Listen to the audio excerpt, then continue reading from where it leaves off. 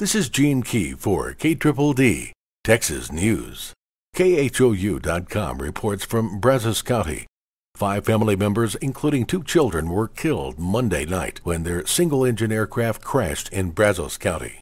Authorities said the family was traveling in a small six seater Piper plane from Atlanta, Georgia, made a stop in Jackson, Mississippi, and was heading to Waco, Texas when it ran into a patch of bad weather around 10 p.m.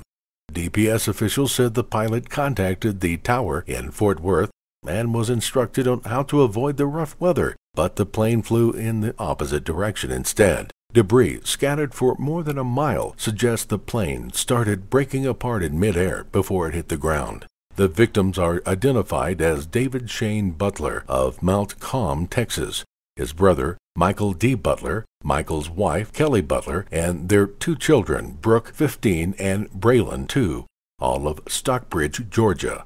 The accident is under investigation. From WFAA.com in Coppell, Texas, a two vehicle crash led to quite a surprise for many drivers on Beltline Road off Interstate 635 this afternoon in Coppell. A man dressed in a Santa Claus costume was seen directing traffic near a truck with flames bursting out of its hood. The accident led to traffic backup as the truck on fire blocked two lanes of traffic. The Coppell and Irving fire departments responded to the scene. There was no injuries, and it's not known if the Santa was involved in the accident.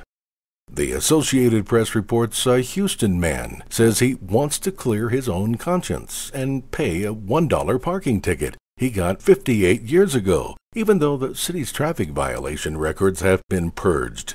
Dale Crawford sent a letter to city officials after finding the ticket among some keepsakes he says it's a debt that he wants to pay, though it's a small, almost unnoticeable amount. Crawford received the ticket February 3, 1953, the day he was inducted into the Army.